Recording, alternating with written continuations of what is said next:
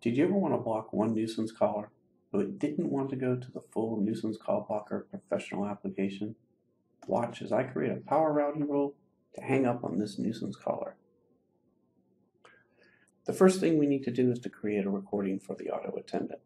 The easiest way to do that is to leave myself a voicemail and save that voicemail WAV file to the desktop. The next step is to create an auto attendant called nuisance. It's always on hours, and we import the recording that we made and left on our voicemail.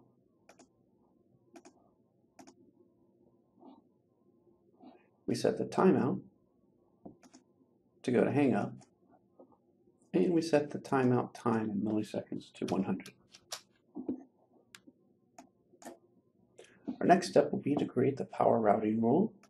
We go into settings, call routing, power routing, create a new power routing rule. We'll name it nuisance.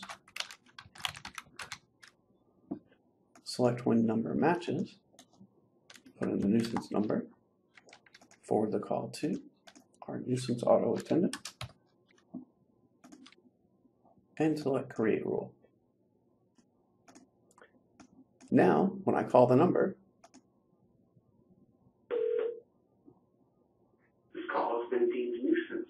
Please do not call back. We get the nuisance call auto attendant, and it hangs up on us.